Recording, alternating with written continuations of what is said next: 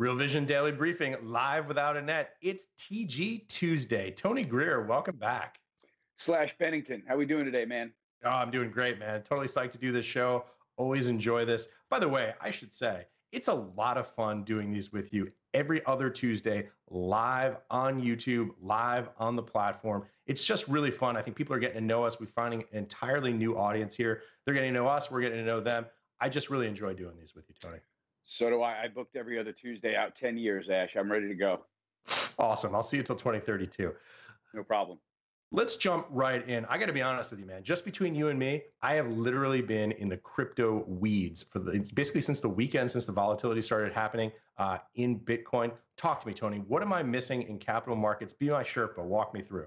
Oh, okay. Well, if you want to go into the regular markets now, back from your futuristic electric money world for a moment, if we will, um, you know, I think the major thing for me coming into this week is that we survived that massive inflation scare last week, right? I was thinking about having set, set that up for us, Tony, for people who didn't watch those prints come back.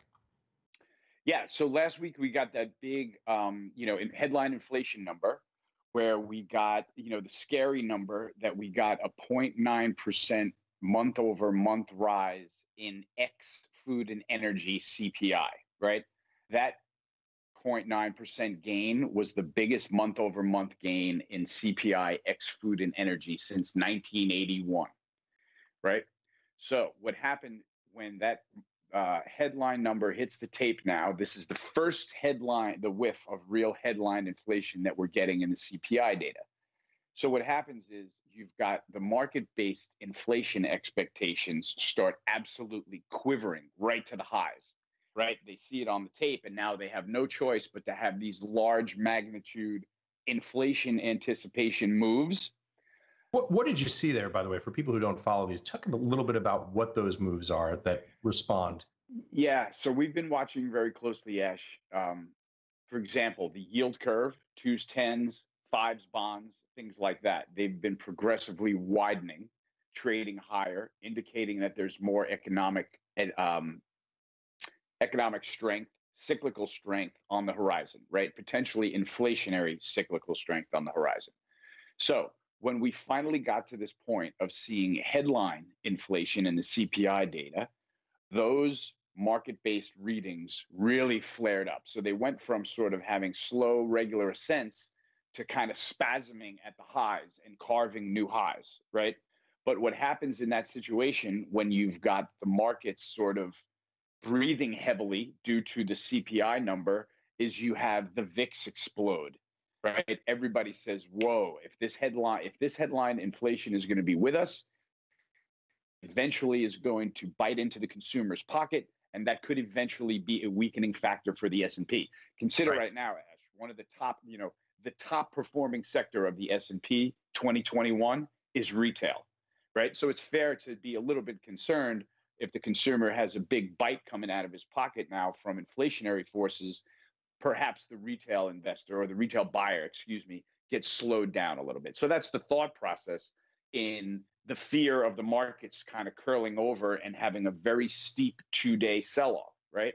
Right. So, what we've been observing for the entire bull market is that during this secular bull market, when we have steep sell offs with intense selling in equities, where the VIX perks up usually above 25, we have the tick index, which measures the intensity of selling, register extreme low prints, usually bigger than minus 1500 on the downside, right? That would be considered an extreme low tick index usually coincidental with the S&P knifing lower 10, 20, 30 handles at a clip, right?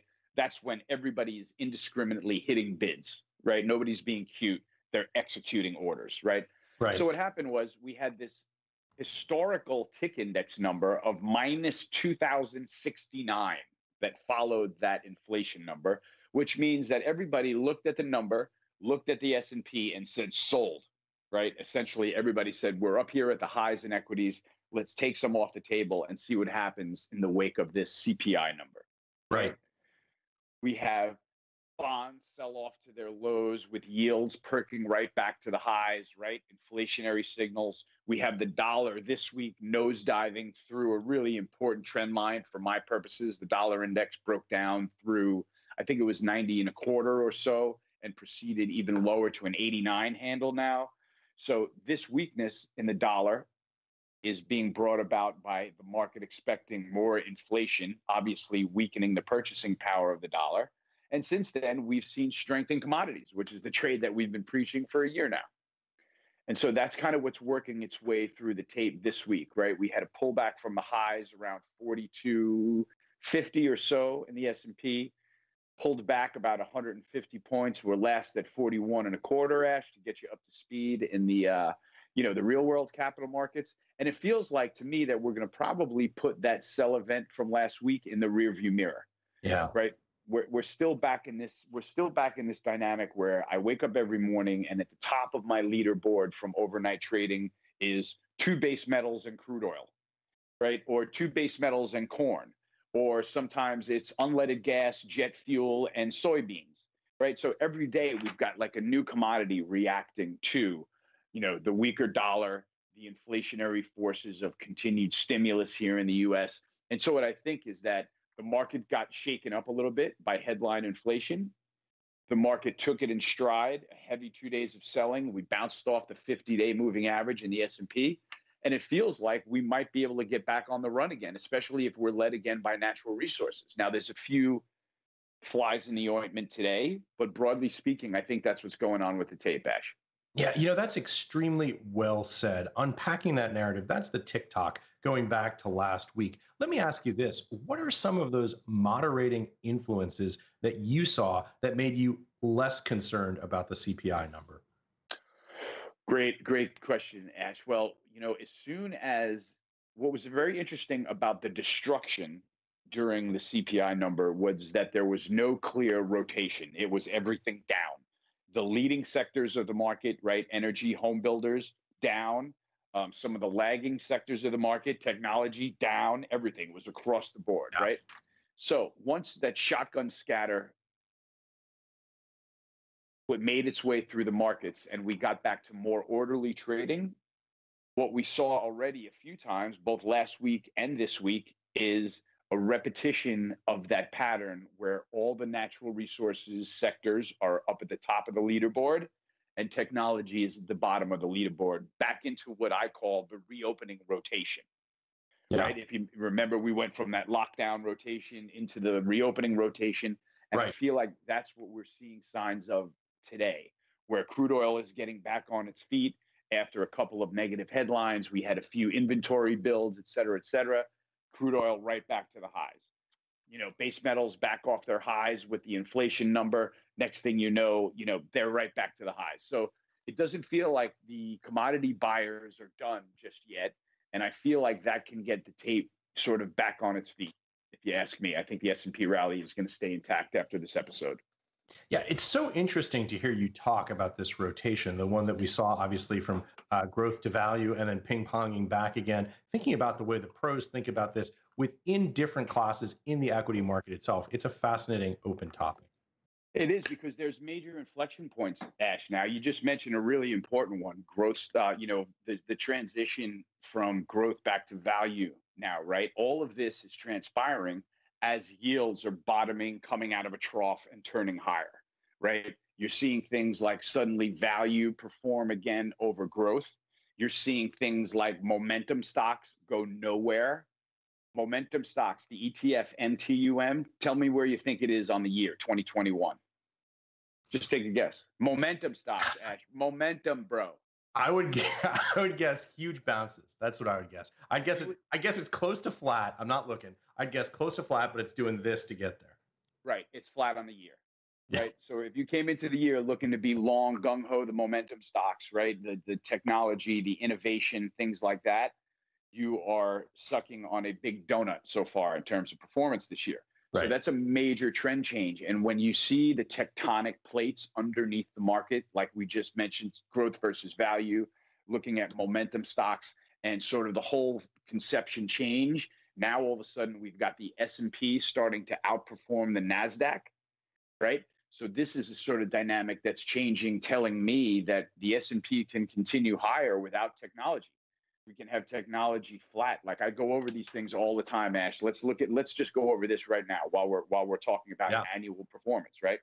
We've got essentially energy up out in the lead, right? XOP, OIH, XLE are all up north of 40% this year, right? In the lead, we've got retail, which is up 45%.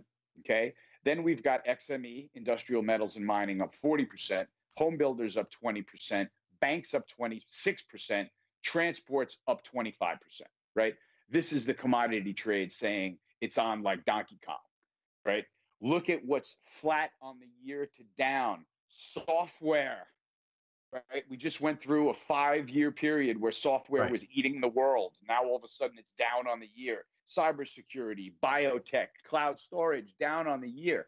Man, if you can't see the right, if you can't see the trend change going on in this equity market, you're holding the newspaper upside down.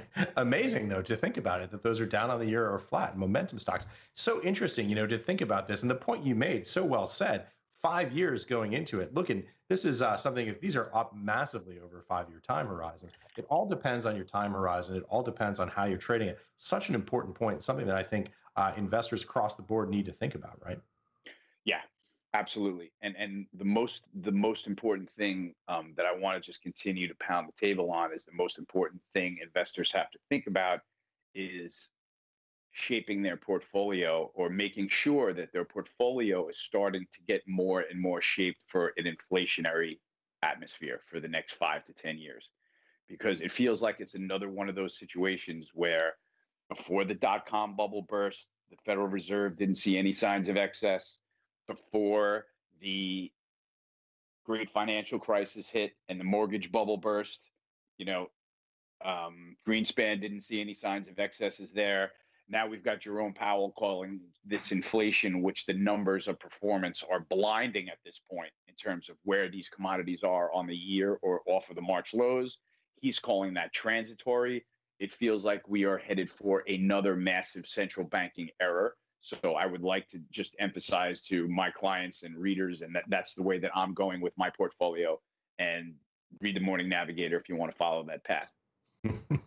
yeah, well said. So much to say there, but two big questions come up for me. Uh, so number one, uh, first, as you described the setup, what's the positioning? Talking about the inflation trade, and number two, unpack a little bit. You're talking about the commodity price inflation. This is a story that you were on to. Geez, uh, I guess back in uh, in 2020 we started talking about this, having this conversation. Uh, explain a little bit about the distinction between commodity price inflation and the kind of inflation that we saw in core ex food and energy CPI last week.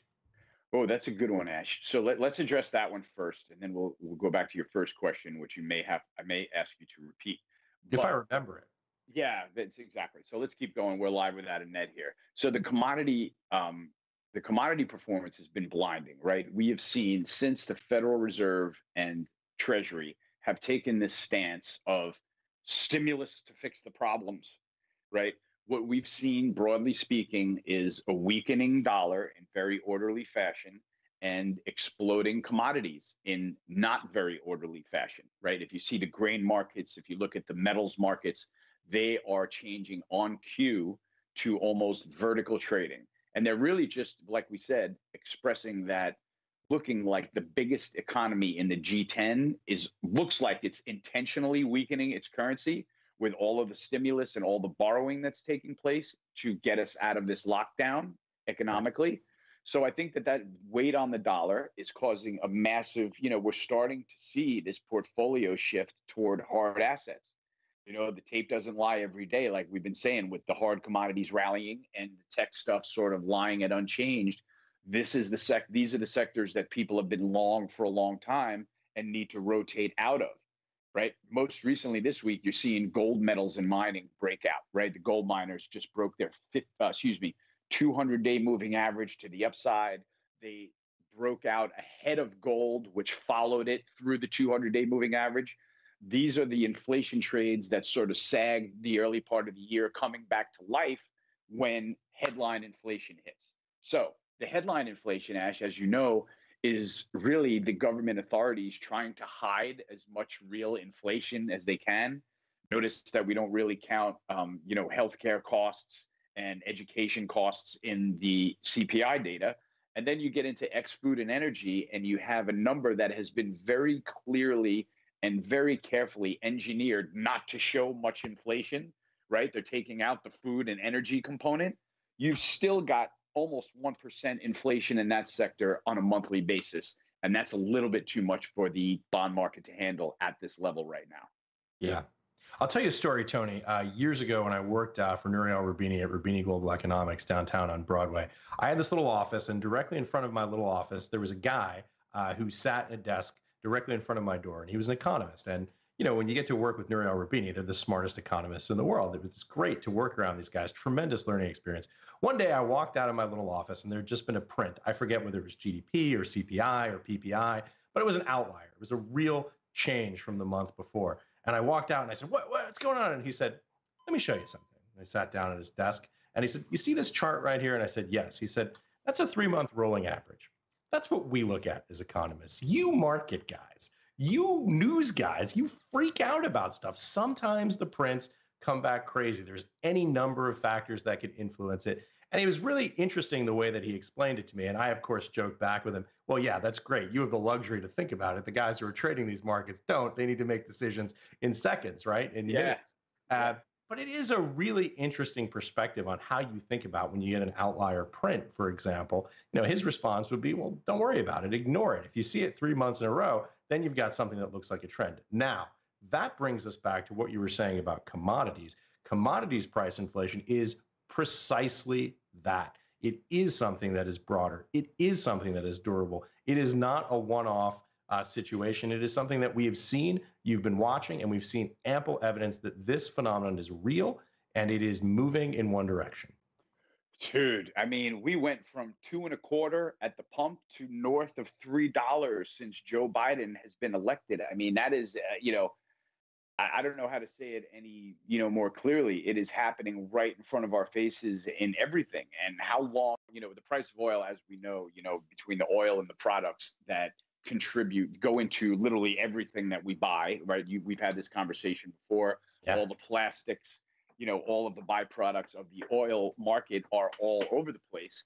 And so, you know, that stuff is going to filter out into the next set of visible price bumps, right? Right now, it's very visible at the pump two and a quarter to three and a quarter. Um, you know, nobody asking the Biden uh, administration any questions about why this is going on, right? I think it's feel like it's very obvious that shutting the pipeline down, followed by a colonial um, pipeline hack, that's going to put upward pressure on the price of energy. And so now, you know, in addition to talking about raising taxes, we're getting taxed on the inflation side of every equation and every grocery bill.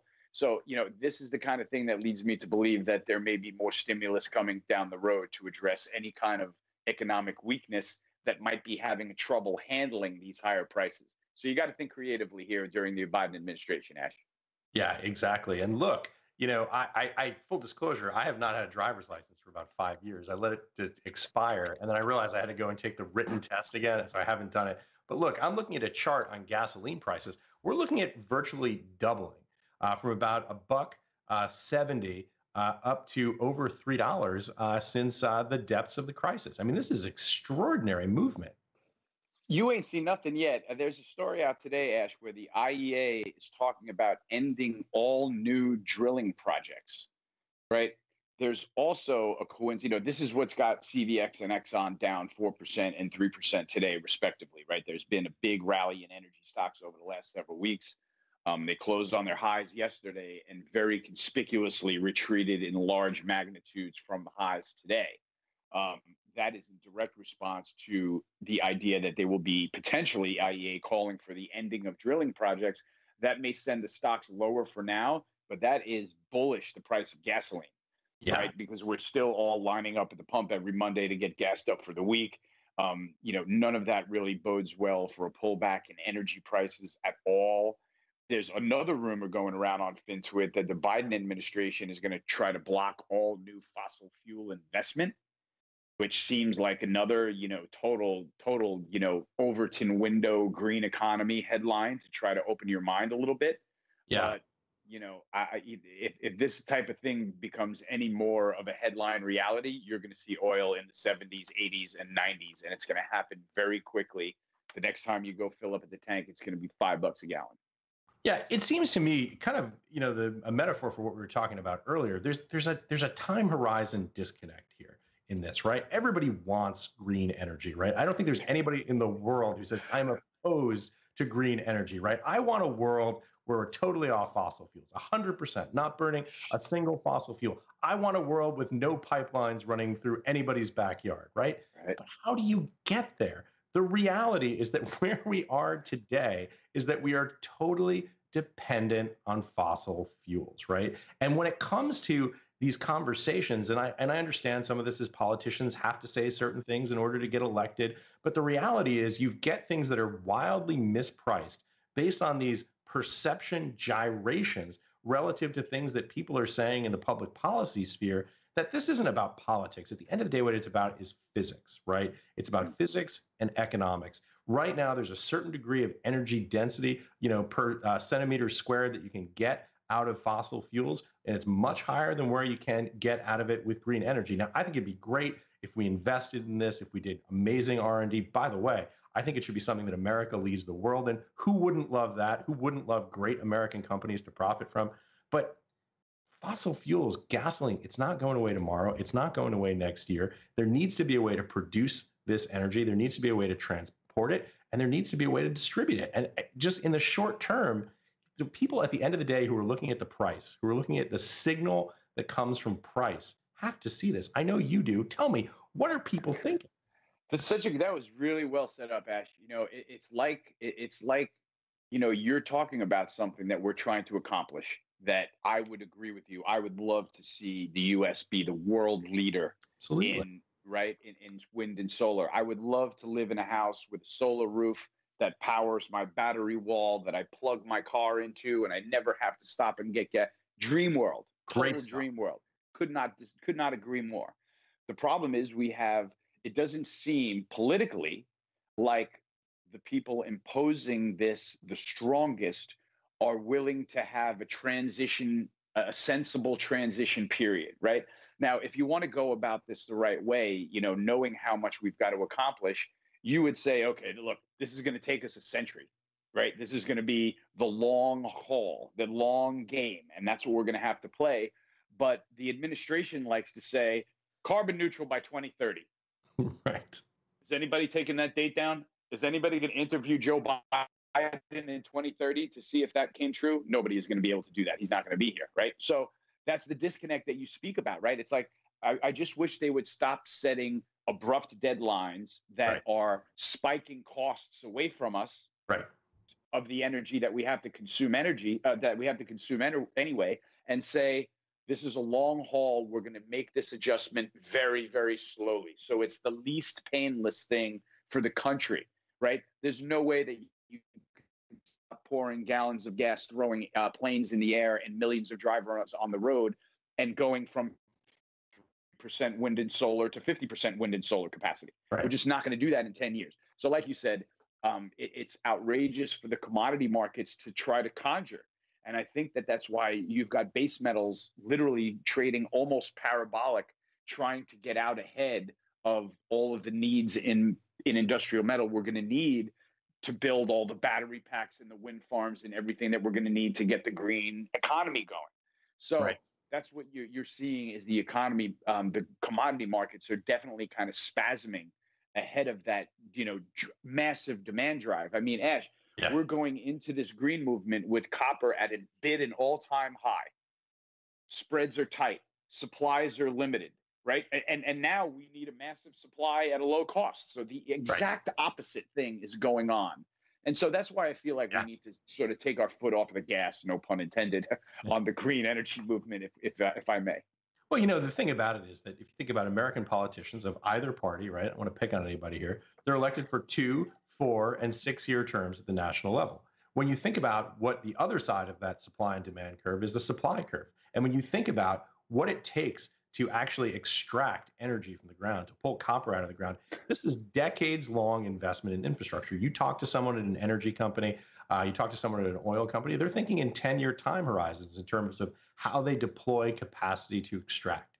Uh, and it is a very complex problem. And like with everything else in 2021, the age of Facebook, the age of social media, right? We get bumper stickers. You get 30 second sound bites for problems that really need to be solved. I guess the good news is while it may be bad for the world and bad for the country, it's great for traders because what it does is it causes these gyrations. I can see the chart over your left shoulder. We get a lot of charts that look like that, oh, right? Oh, yeah. Yeah, absolutely know this is this is uh you know for the man in the trading arena this is all good news you know? I mean you're able to trade you know bull at bull market energy bull market base metals bull market grains. I mean this is a playground for an old commodity trader like me. Unfortunately you know this is the stuff that's going to hit the country right in the wallet you know? All, all the costs that are going up the um, initial raw material input costs are going to get passed right down to the consumer.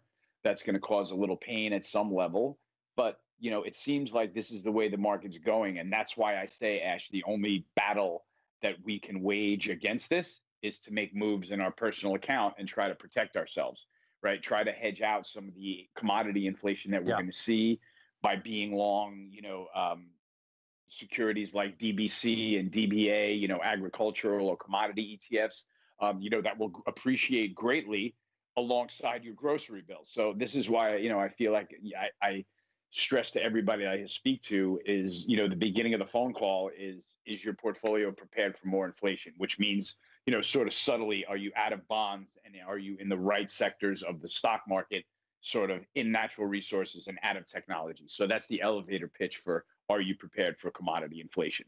Yeah. By the way, Tony, you just answered question one that we both forgot from 15 minutes ago, which was that's the setup. How do you react? And there's your answer. There you go. We came full circle. That's perfect. It all comes full circle. Uh, Tony, I have to ask you something we were talking about earlier. Uh, you mentioned, uh, I think your uh, phrase uh, we were offline is that Bitcoin has been a soup sandwich. What is going on? What are your thoughts there? We've been very patient with Bitcoin. We've been very patient with the laser-eyed community, right? We, we've taken a lot of shots across the bow as, you know, old world asset class traders. And it's come up in time for the laser eye guys, right? We saw all of the sentiment tops. We saw five sentimental topping signals where markets can usually only handle one, right? We saw Elon Musk go Bitcoin. We saw the uh, $70 million JPEG sell at auction. Uh, we saw the Miami Heat rename the arena after the uh, Bitcoin um, exchange. We saw just about everything you could see that lent itself to hubris and excess in the cryptocurrency market, right? Now we've got Elon Musk tongue tying himself to Dogecoin and to Bitcoin and to Tesla. And so now that his credibility is facing a real come to Jesus moment with all of the accidents that are going on in the electronic vehicles that are supposed to be automated around the world, his credibility is slipping and he's pulling the credibility of cryptocurrency down with it. I honestly think that's what's going on. I also think there's a slight undertone of I'm I'm not going to call it a coincidence that gold is back to breaking out again after suffering 4 or 5 months of pullbacks while crypto is curling over. So it kind of goes back to my original theory that nobody liked that people were piling out of gold and into crypto, you know, at 40k and 50k and 60k.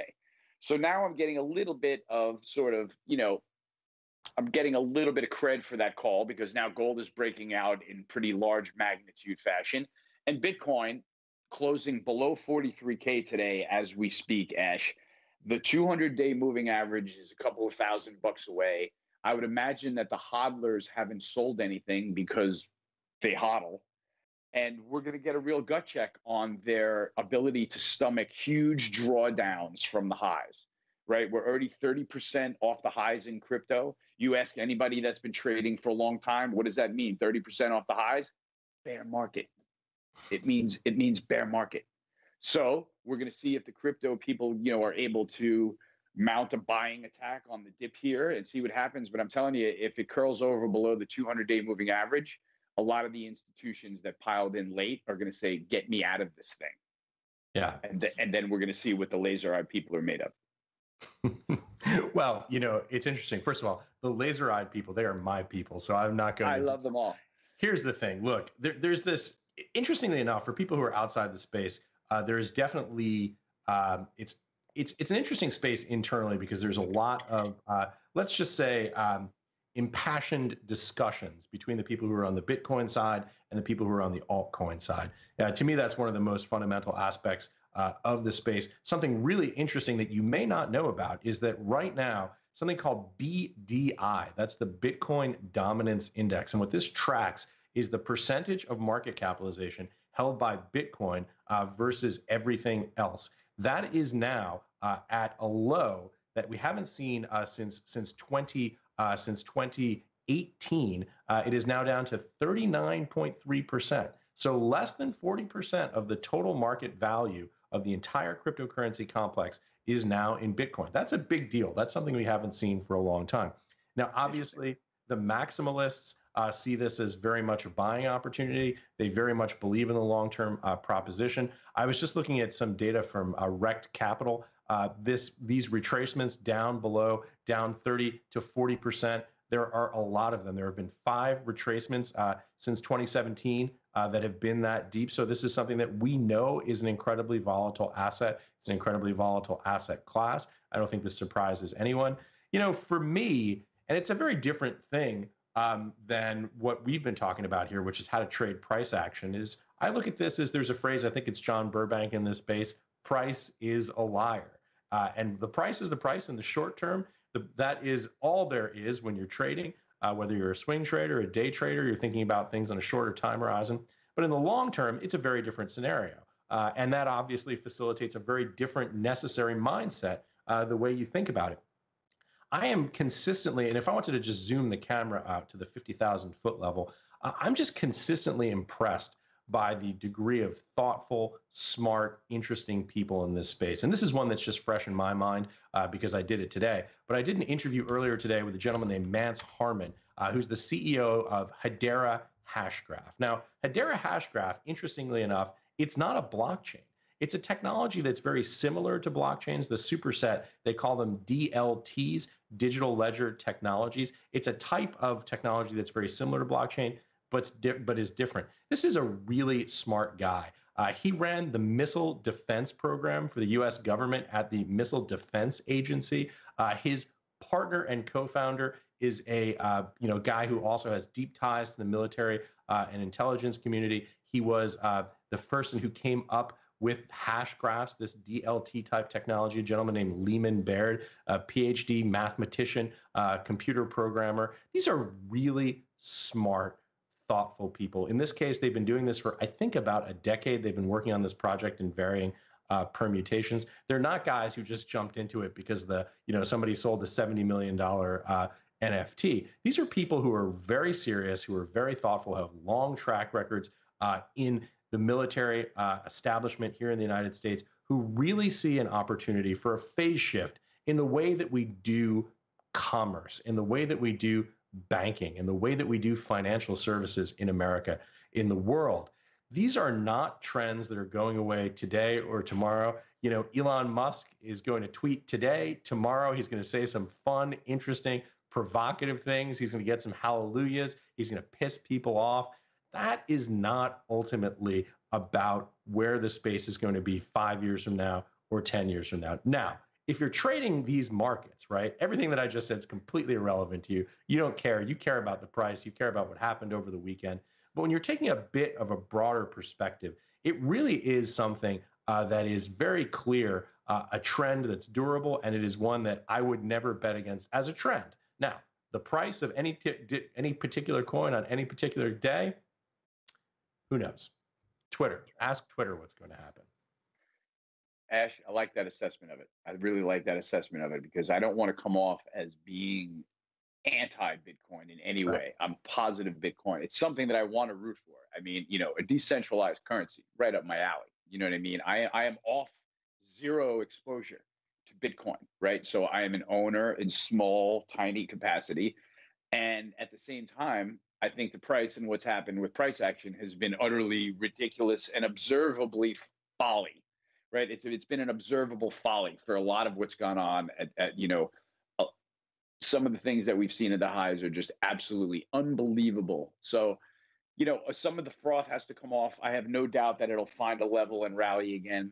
I do think it's probably going to struggle to get through 65K if it breaks down through the 200 day, which remains to be seen yet, right? That's a battle that we haven't even fought yet with Bitcoin.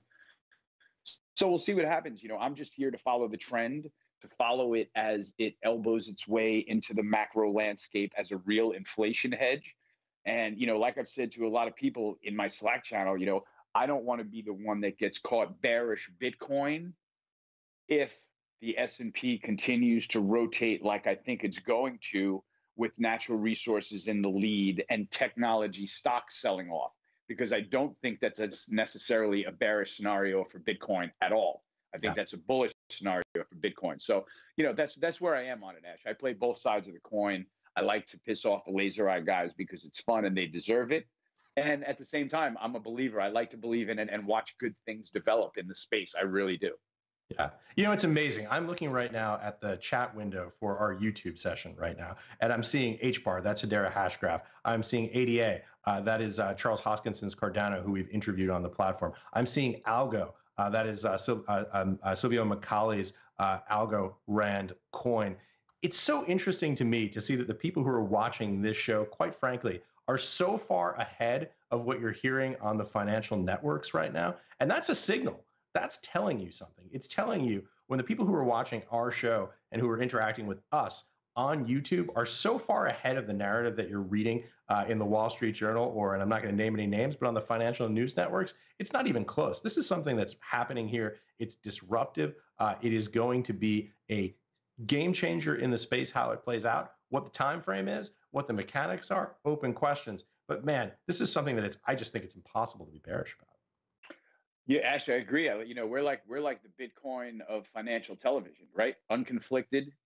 You know, it, we're we're we just trade on the tape where we trade honest opinions, and uh, that's all you're going to get out of us, right? So that seems to be what Bitcoin is trying to establish itself as an unconflicted currency in the macro world. And, I, like I said, I'm all for it. I don't need to go so heavy on the Bitcoin bulls, even though it's coming apart like a soup sandwich. we got to have you debate one at some point on Real Vision. That would be a lot of fun. I don't know if I'm up for that. I really don't. I really don't think that I can. It won't stop me from trying. Listen, talking about uh, speaking truth, we've got a lot of questions that are coming in. Uh, I know we don't have a ton of time left, so maybe we can hit through these, uh, do them almost like a speed round here, because uh, we got a lot of questions, and I really, really want to get to them. Uh, so the Go. first comes to us from Mario G. Uh, if inflation continues up and the Fed keeps rates low, what are your thoughts on tips? Hmm you know, I, I, don't know enough about the bond market to decide which is going to be the right investment to be in, whether it's tips, uh, you know, TLT. You know, I would I'm assuming Treasury inflation protected security sounds like it's going to be the way to go if we head into an inflationary environment. Um, but like I said, I'm not a master of the bond market, and I can't tell you if that is the best possible fixed income investment in a perfectly inflationary scenario, Mario. I, I, I want to just contest that right away. Yeah, the, the the mechanics of those markets are obviously very complicated, and and uh, it is it is true what you say. It's a it's a challenging one. Okay, I just lost my questions window here. I'll have to find it. Uh, I'll have to find it in a second. Uh, but let's. Uh, there there was there was one that I saw coming in uh, to ask Tony what you think about about Coinbase. Obviously, the stock has gotten hammered a bit lately. Any thoughts there? Yeah, I'm a big fan of following tech IPOs like Coinbase that I can kind of get a handle on, you know, where their position is in the market and where the value of their product is at the time. So I actually have, have consciously told investors that I would hold off on Coinbase just until this episode plays out in Bitcoin. And that's kind of where I am and the best advice I could give right now with Bitcoin testing the 200 DMA like this is a very binary event for me i think because we know that we've got a market that's long out the wazoo right? There's everybody in the world's got some kind of exposure to bitcoin at this point um, the laser eyes notwithstanding new institutions notwithstanding and a breakdown through that level is going to mean a severe hit to cryptocurrency market cap.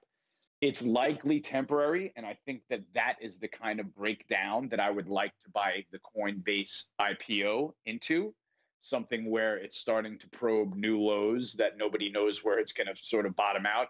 And that's where I would start putting a little bits of money into it on a breakdown, sort of not knowing where the breakdown was going to stop, but knowing that at some point Bitcoin is going to get back on its feet again. And you know there'll be periods of time in the future that are inflationary that we can count on Bitcoin probably trading, you know, higher and performing well. So Coinbase, I'm looking for a big dump in Bitcoin to put my first dollar in Coinbase, and the stock is absolutely on my radar. I hmm. haven't touched it yet, and I've been waving people off until we get this battle at the 200 day over. Great. I got my question stock back. That one came to us uh, from Jay Smoke.